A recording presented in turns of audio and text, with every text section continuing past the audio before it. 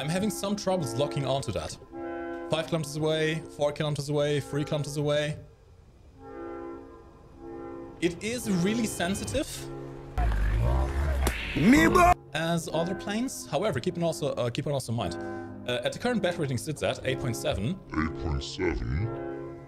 Now the problem again is uh, the F-117 does not have any kind of countermeasures. Any kind of countermeasures. You can now derail the train tracks, you can push them away, you can make your own uh, pathways, uh, which should open to a, a lot more gameplay options. And Jesus Christ, I just caused a massive amount. Okay, so it completely blocks your screen. If you're trying to aim at anything without zooming in, good luck. Yes. Um, you do have a massive radar array at the top, which currently... Oh, it is already already modeled. Okay.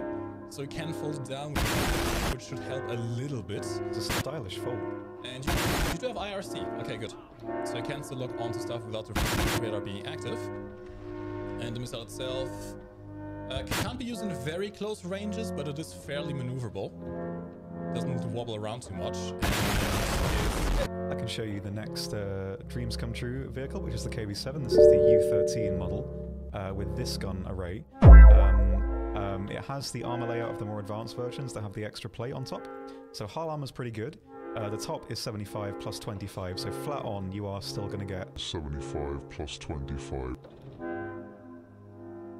Hit by stuff like that. And you may have noticed I am uh, carrying a, a new type of weapon, the Grom 1.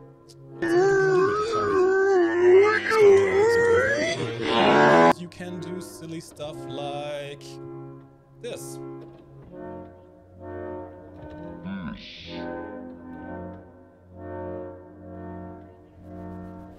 Yeah, ace combating. Let's go. Ace combat.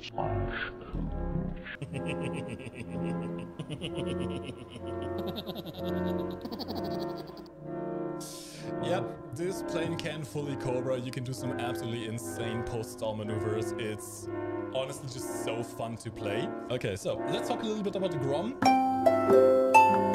Uh, there are two new uh, variants of this, uh, well, bomb slash missile. Have thermal vision, but that's fine. We can just fire off all our missiles individually without needing to lock anything. They are GPS guided. GPS guided. So as long as the target stays uh, stays stationary, it is all fine. I, I just... It's stupid, but I love doing this.